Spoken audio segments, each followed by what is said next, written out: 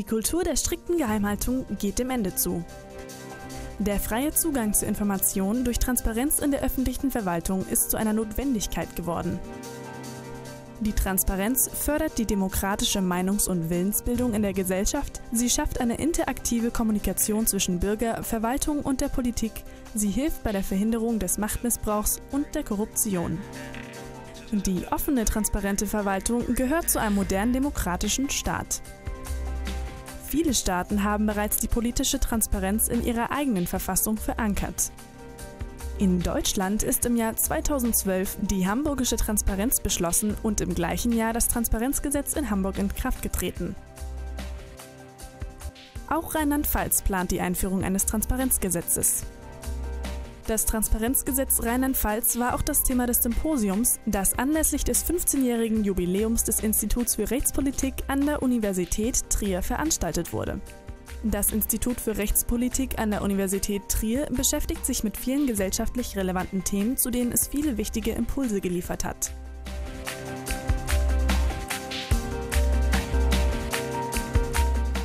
Redner, Referenten und Teilnehmer an der Podiumsdiskussion haben sich mit dem Thema der Einführung des Transparenzgesetzes auseinandergesetzt. Das Gesetz wirft auch einige Fragen auf, wie zum Beispiel, welche Auswirkungen wird das Gesetz haben? Welche Daten wird das Kriterium zur Veröffentlichung erfüllen? Gibt es Bedenken und Kritikpunkte?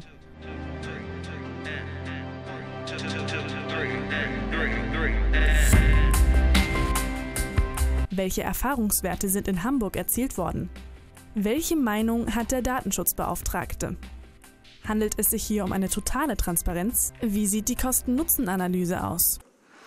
Als Herr Robbers und ich im vergangenen Jahr überlegt haben, ob wir das 15-jährige Bestehen des Instituts mit einer besonderen Veranstaltung begehen wollen, lag es natürlich nahe, wie bereits zum 10-jährigen Bestehen eine besondere Tagung zu organisieren, die sich einem rechtspolitischen Thema widmet, das einen besonderen Bezug zum Land Rheinland-Pfalz aufweist. Dabei kam relativ schnell der Gedanke auf, sich dem schon damals in Vorbereitung befindlichen Projekt eines Transparenzgesetzes zu widmen. Dass wir mit der Tagung zeitlich mitten in die aktuelle Diskussion des Gesetzentwurfs stoßen würden, war damals freilich noch nicht abzusehen. Umso mehr freue ich mich, dass die Chance besteht, mit den Ergebnissen der heutigen Diskussion noch den ein oder anderen Anstoß für die parlamentarischen Beratungen geben zu können. Die Voraussetzungen für eine anregende Diskussion sind jedenfalls mit Blick auf die Redner, Referenten und die Teilnehmer der Podiumsdiskussion gegeben. Frau Ministerpräsidentin Dreyer wird es sich, so vermute ich wenigstens, sicher nicht nehmen lassen, in ihrem Grußwort auch noch einige Gedanken zu dem Vorhaben zu formulieren. Ähm, das ihr, wie allgemein bekannt ist, auch persönlich am Herzen liegt. Herr Wagner ist als Landesbeauftragter nicht nur für den Datenschutz, sondern auch für die Informationsfreiheit des Landes Rheinland-Pfalz nicht nur von Berufswegen, sondern auch aus Überzeugung ein Förderer des Zugangs der Bürger zu Informationen der öffentlichen Verwaltung. Frau Kollegin Albers von der Universität Hamburg beschäftigt sich seit langer Zeit wissenschaftlich mit Fragen der Informationsfreiheit und bringt darüber hinaus die Erfahrungen mit dem Transparenzgesetz der Stadt Hamburg, das in gewisser Weise Pate der rheinland-pfälzischen Regelung ist, ein.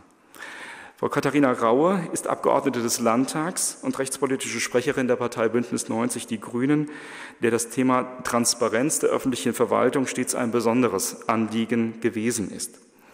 Herr Dr. Rolf Mayer ist als zuständiger Abteilungsleiter im federführenden Innenministerium quasi einer der Väter des Gesetzentwurfs, so nehme ich zumindest an.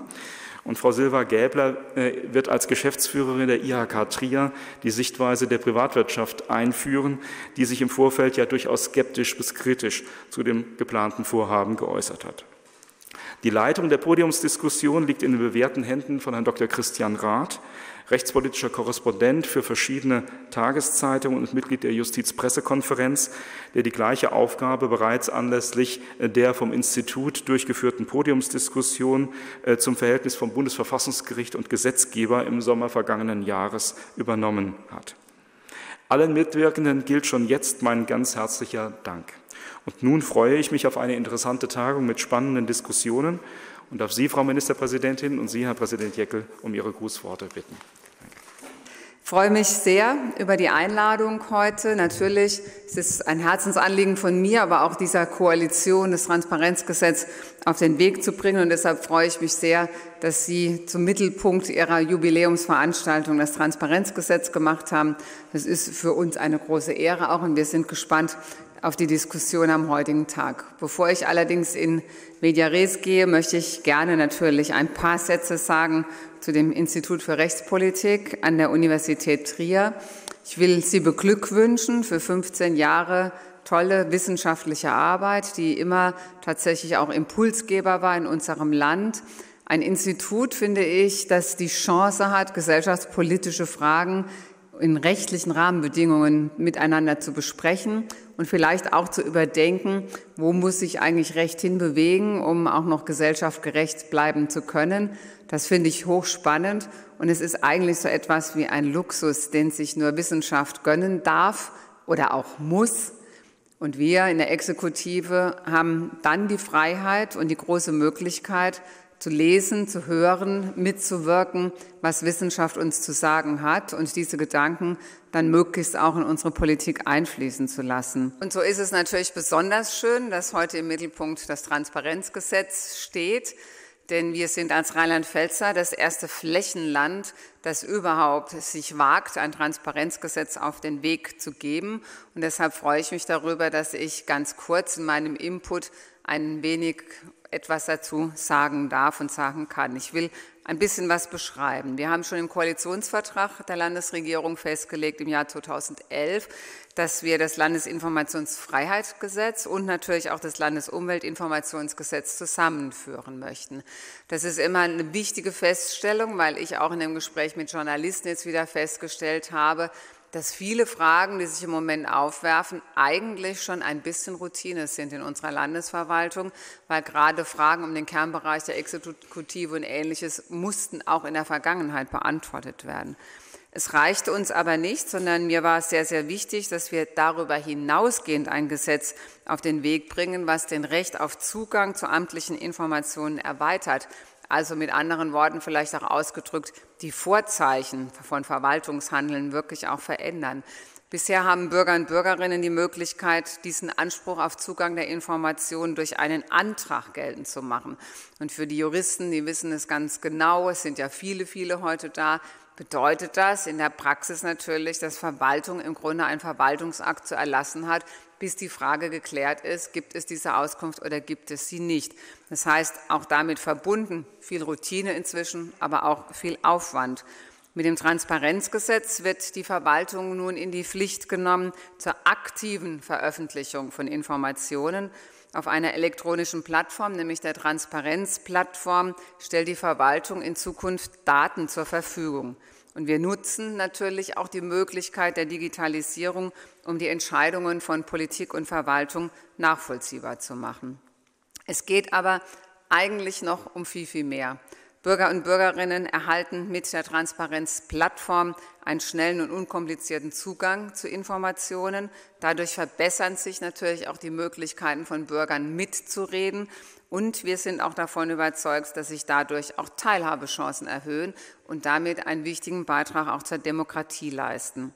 Das Transparenzgesetz ist für mich damit auch ein ganz konkreter Schritt, um die Bereitschaft der Rheinland-Pfälzer und Rheinland-Pfälzerinnen zu bürgerschaftlichem, zu demokratiebildendem Engagement zu unterstützen. Die Landesregierung greift damit eine wichtige Empfehlung der Enquete-Kommission auf. Die Vorsitzende der Enquete ist ja auch unter uns, Frau Schellhammer. Auch die Enquete-Kommission ist in ihrem äh, Ergebnis, der Rheinland-Pfälzische Landtag, äh, zum Ergebnis gekommen, dass es wichtig wäre, ein solches Transparenzgesetz auf den Weg zu bekommen, mit ganz schönen, wirklich auch guten Begründungen. Und äh, ich bin sehr froh und dankbar dafür, dass der Landtag zu diesem Ergebnis gekommen ist und wir als Landesregierung auf dem Weg sind, genau diese Anforderungen auch zu erfüllen. Um einige Grundsätze zu nennen noch einmal, dadurch, dass die Informationen und Daten jetzt gebündelt auf der Transparenzplattform zur Verfügung gestellt werden können, sind sie natürlich ohne Begründung und auch anonym für jeden Bürger und für jede Bürgerin abrufbar. Der Zugang zur Transparenzplattform ist natürlich gebührenfrei Und wir haben auch vor, sie mit einer Suchfunktion auszustatten, sodass die gewünschten Daten für die Bürger und Bürgerinnen auch sehr schnell und gut abrufbar sind. Es soll darüber hinaus eine Rückmeldefunktion geben, damit die Nutzer und Nutzerinnen auch die Möglichkeit haben, Informationen zu bewerten oder auch Mängel aufzuzeigen und wir wiederum als Verwaltung die Möglichkeit haben, uns auch weiterzuentwickeln. Denn das, was wir tun, ist natürlich Neuland für uns und es wird auch sicherlich so sein, dass es ein lernender Prozess bleiben wird. Die Daten sollen schrittweise in einem Format bereitgestellt werden, das eine Wiederverwendung und auch eine automatisierte Weiterverarbeitung ermöglicht. Das Datenformat soll frei zugänglich sein und anerkannte Standards entsprechen. Auch das ist für uns logisch und sinnvoll.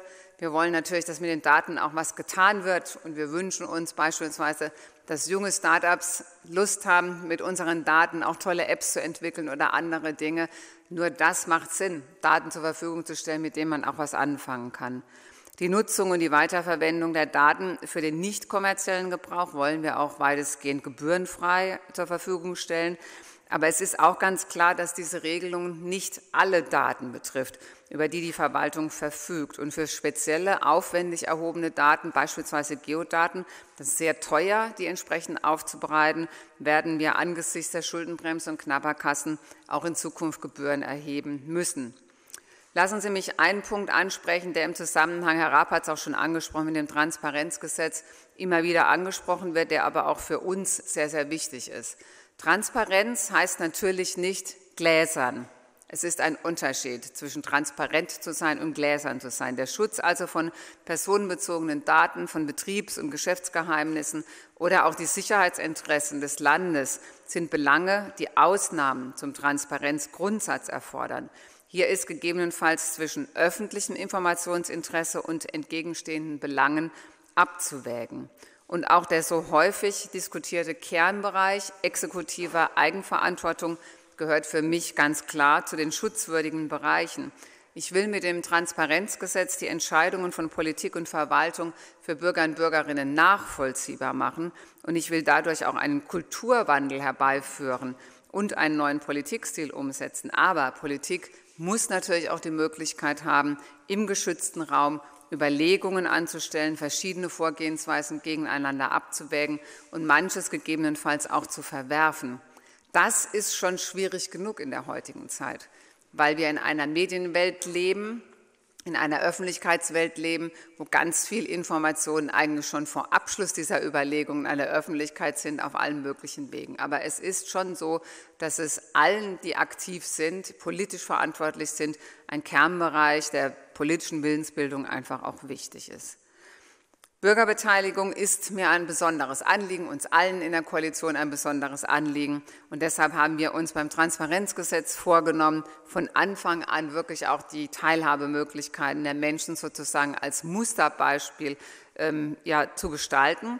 Daher hatten wir in der Landesregierung beschlossen, dass wir dem Transparenzgesetz, bevor das reguläre Gesetzgebungsverfahren beginnt mit dem Parlament, tatsächlich einen Beteiligungsprozess, ein Beteiligungsverfahren vorzuschalten. Damit sollte die Öffentlichkeit umfassend über die Inhalte des Transparenzgesetzes informiert werden und auch für das Thema sensibilisiert werden.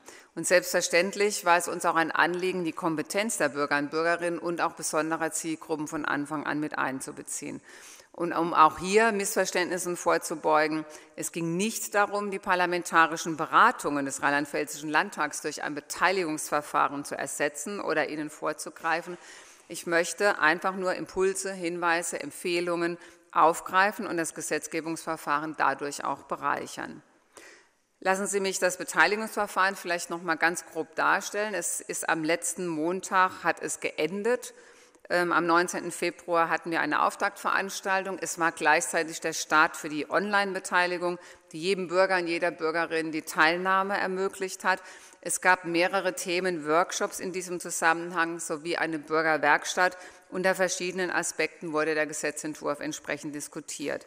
Und so ging es unter anderem darum, welche Daten auf der Transparenzplattform veröffentlicht werden sollen oder was eigentlich zu den Bereichsausnahmen gehört, ob es überhaupt Bereichsausnahmen geben soll. Auch die Frage, wie man von der Transparenz zur Teilhabe kommen kann, war ein Thema. Ebenso natürlich sprachen wir über besonders betroffene Zielgruppen oder mit ihnen. Dazu gehören auch die Mitarbeiter und Mitarbeiterinnen der Verwaltung. Wir sind uns bewusst, dass die Umsetzung des Transparenzgesetzes für die Mitarbeiter und Mitarbeiterinnen der Landesverwaltung eine sehr, sehr große Herausforderung ist. Auf der einen Seite sprechen wir von einem Kulturwandel im Verhältnis zwischen Bürgern und Staat. Auf der anderen Seite kann natürlich nicht per Gesetzorder dem Mufti verordnet werden, dass heute eigentlich alles anders ist, sondern man muss in diesem Prozess auch die Menschen mitnehmen. Und ähm, an dieser Stelle auch nochmal, weil das ja einer der häufigen Kritikpunkte ist, alles zu teuer, alles eigentlich unnötig. Da bin ich schon ziemlich klar als Ministerpräsidentin.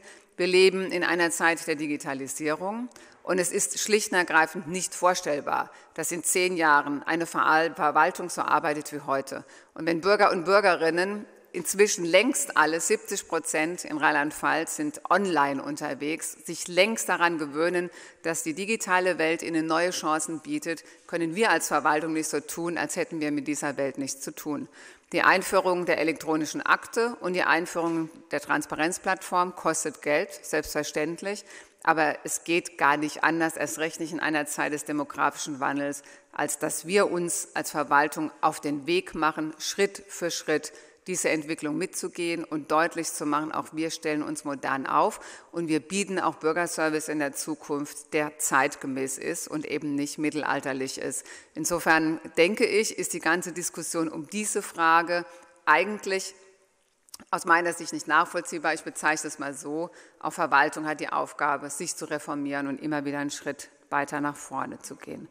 Insofern sichere ich auch unseren Mitarbeitern und Mitarbeiterinnen immer zu, dass wir gemeinsam diesen Prozess gestalten, dass auch keiner Angst haben muss. Natürlich ist es eine Umstellung, irgendwann nicht mehr mit Papier zu arbeiten, sondern alles nur noch über den elektronischen Weg. Wir werden ganz Schritt für Schritt diesen Prozess miteinander gehen. Die Ausschreibung dieser ähm, EDV, die erforderlich ist, soll ja Mitte 2016 stattfinden. Das Gesetz soll ja noch hoffentlich in diesem Jahr verabschiedet werden.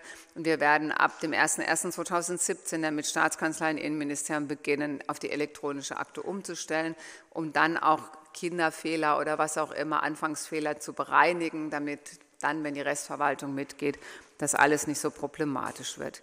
Zu den Kommunen vielleicht noch ein Wort. Auch mit den Kommunen haben wir eine eigene Veranstaltung durchgeführt im Rahmen des Beteiligungsverfahrens. Der aktuelle Gesetzentwurf für die Kommunen sieht ja vor, dass sie die Möglichkeit haben, ihre Daten freiwillig auf der Transparenzplattform äh, darzustellen. Sie sind nicht gezwungen mitzumachen. Das Beteiligungsverfahren hat allerdings schon gezeigt, dass die Daten der Kommunen natürlich die für die Menschen besonders interessanten Daten sind. Deshalb sind wir entschlossen, im Dialog mit den Kommunen einfach einen Weg zu finden. Wie können wir miteinander auch vielleicht Angebote machen, dass es auch für Kommunen leichter wird, diesen Weg mitzugeben. Da gibt es im Moment keine abgeschlossene Meinung. Es sind Dinge, die wir jetzt sammeln durch das Beteiligungsverfahren. Und das Kabinett wird sich ja dann Anfang Juni mit dem zweiten Entwurf äh, des Transparenzgesetzes befassen, unter Berücksichtigung der entsprechenden Dinge, die im Beteiligungsverfahren genannt worden sind. Ich bin gespannt auf den weiteren Prozess. Ich bin auch gespannt darauf, was Sie heute hier, wie Sie sich heute hier äußern werden. Der Landesbeauftragte für Datenschutz und Informationsfreiheit, Herr Edgar Wagner, ist mit dabei. Er hat das Projekt von Anfang an sehr, sehr engagiert begleitet, wenn ich es mal so sagen darf, einfach eigene Impulse auch gesetzt und war von Anfang an mit konstruktiv dabei. Und ich will mich auch an der Stelle mal sehr, sehr herzlich bei Ihnen und dem ganzen Team bedanken für diese wertvolle, konstruktive Zusammenarbeit. Wir gehen mit dem Transparenzgesetz sowohl inhaltlich als auch vom Verfahren her absolut neue Wege. Es gab noch gar kein Bundesland, das ein Transparenzgesetz auf den Weg gegeben hat mit einem so umfassenden Beteiligungsverfahren, wie es Rheinland-Pfalz jetzt tut. Darauf sind wir auch stolz. Es soll vielleicht auch Maßstäbe für die Zukunft entwickeln. Auch das müssen wir miteinander besprechen, denn man muss sich auch klar sein, ein so aufwendiges Beteiligungsverfahren kostet auch sehr viel Man- und Women-Power und sehr, sehr, sehr viel Aufwand. Das heißt, wir werden auch am Ende des Prozesses miteinander besprechen müssen und evaluieren müssen, in welchem Verhältnis steht was. Ich freue mich auf die Diskussion. Ich kann leider nicht hier bleiben und Ihnen zuhören, aber Dr. Mayer ist da, er ist ja der federführende Abteilungsleiter im Innenministerium, der dieses Gesetz sozusagen juristisch betreut, vom Rechtsrahmen her betreut. Und Professor Robbers wird, sobald er den Termin ähm, gemacht hat, denn er heute Morgen halt hier sein. Insofern mit unseren Abgeordneten haben wir wirklich geballte landespolitische Kompetenz hier. Wir sind gespannt auf Ihre Tagung. Wir wünschen dem Institut alles Gute weiterhin, viel Erfolg und herzlichen Dank fürs Zuhören. Der Gedanke, dass man mit wissenschaftlichen Erkenntnissen die Welt verändern kann, mag dem einen oder anderen schon sehr alt erscheinen, aber eigentlich ist er vergleichsweise jung. Und einer der bedeutendsten Vertreter dieser Idee war der Franzose Auguste Comte und der hatte die verworrene Idee, dass er irgendwann sozusagen als Priester der Menschheit auftreten könne. Da haben Sie die Analogie zur äh, Kapelle. Und er war noch weiter in seinen Gedanken, denn er glaubte daran, dass er irgendwann einmal die Regentschaft in Notre Dame übernehmen könne. Nun sind wir hier nicht in Notre Dame und diese Hybris, äh, die Herrn Comte gelegentlich umgeben hat, hat auch das Institut für Rechtspolitik nie umgeben. Aber äh, die Idee ist eben, dass man sich als Forschungsinstitut insbesondere mit den Folgen von Gesetzesvorhaben, auch geplanten Gesetzesvorhaben, mit gesellschaftlichen Implikationen juristischer Entscheidungen befasst und das gemeinsam mit der rechtspolitischen Fachwelt reflektiert. Das Institut vermeidet in seinen Verlautbarungen den Begriff Think Tank, aber wer sich so bezeichnen darf und wer nicht, ist ohnehin nicht juristisch geschützt, sondern häufig ein Ergebnis von Zuschreibungen. Ich gratuliere also heute zum 15-jährigen Jubiläum und zugleich zur Wahl des heutigen Themas, weil sich in ihm viele Widersprüche der heutigen Zeit wiederfinden lassen. Aber auch Herausforderungen zum Beispiel für Universitäten, die mit Zivilklauseln konfrontiert werden und alle Herkünfte von Drittmitteln offenlegen sollen. Die Forderung nach, einer, nach mehr Gestaltungseinfluss wird also allenthalben erhoben. Die Umsetzung wird aber häufig erschwert, weil diese Interessen nicht mehr nur einen kooperativen Geist widerspiegeln, muss das so sagen, Frau Ministerpräsidentin, sondern häufig auch partikularistisch, wenn nicht sogar individualisiert daherkommen. Ich will also mit wenigen Worten etwas Allgemeines zu dem Thema Transparenz sagen und nicht konkret auf das heutige Gesetz eingehen. Dazu fehlt mir auch die Kompetenz. Am vergangenen Wochenende wurde berichtet, dass parallel zu der öffentlichen Aufregung, die die neue griechische Regierung durch ihre Ankündigungen und Gespräche ausgelöst hat, geheime Dinnergespräche den eigentlichen Kern des Problems am Leben halten. Quasi zwischen Gabel und Messer der Ernst der Sache wieder justiert wird. Der Artikel dazu wurde mit folgendem Hinweis eingeleitet. Still und heimlich haben die Gläubiger und Griechenland ein neues Format in die Verhandlungen eingeführt. Es heißt Frankfurt Dinner Group. Wenn es in der Öffentlichkeit kracht, wird dort weiter verhandelt. Nun, über das Geheimnis hat Georg Simmel einmal schön gesagt, dass es eines der größten aller geistigen Errungenschaften überhaupt sei. Denn das Geheimnis bietet sozusagen die Möglichkeit, eine zweite Welt zu erhalten oder auch zu offenbaren.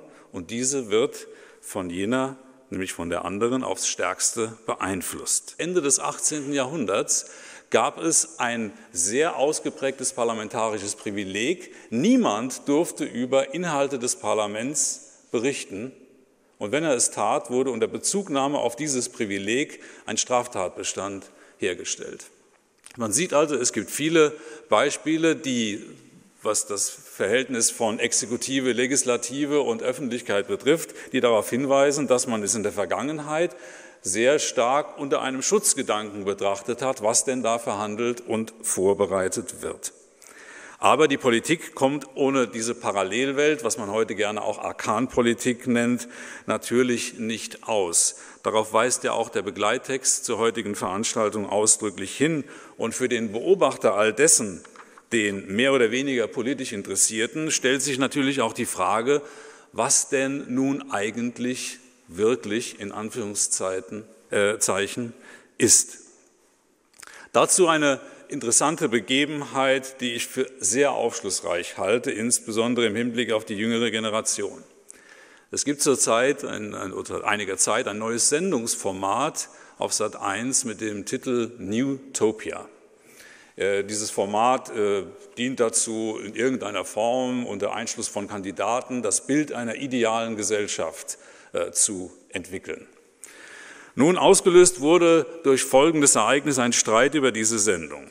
Es war vor kurzem durch eine versehentlich nicht abgeschaltete Kamera zu sehen, wie Mitarbeiter der Produktionsfirma mit den Kandidaten absprachen, was sie tun könnten, um das sinkende Interesse an der Show wieder zu steigern. Alles Lüge war die erste Reaktion aus dem Publikum, was sozusagen die Authentizität der Sendung angeht. Und die anderen haben natürlich gleich zurückgerufen, was habt ihr denn gedacht? Äh, und äh, wollten damit auf den Inszenierungscharakter auch solcher Formate hinweisen.